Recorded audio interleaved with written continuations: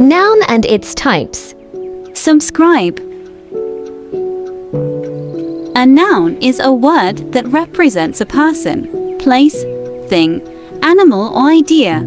It is a part of speech that is used to name and identify various objects or concepts in a sentence.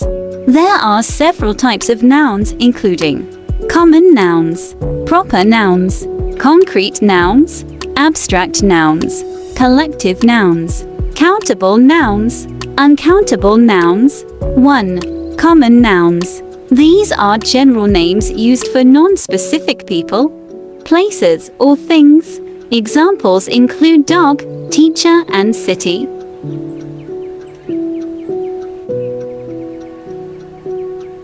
2. Proper nouns. These are specific names of people, places, or things and are written with initial capital letters. Examples include John, Paris, and Microsoft. 3. Concrete nouns. These refer to objects or things that can be perceived with the senses. Examples include chair, book, and apple. 4. Abstract nouns. These represent ideas, qualities, or emotions that cannot be physically observed. Examples include love, happiness, and intelligence. 5. Collective nouns. These nouns refer to groups of people or things. Examples include family, team, and herd. 6. Countable nouns. These are nouns that can be quantified and have a singular and plural form.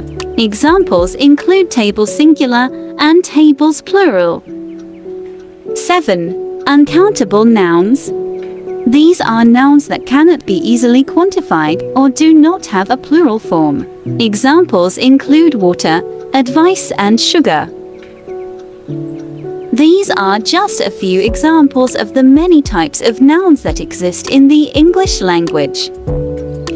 Nouns play a crucial role in sentence structure and help convey information about the subject, object, or receiver of an action in a sentence.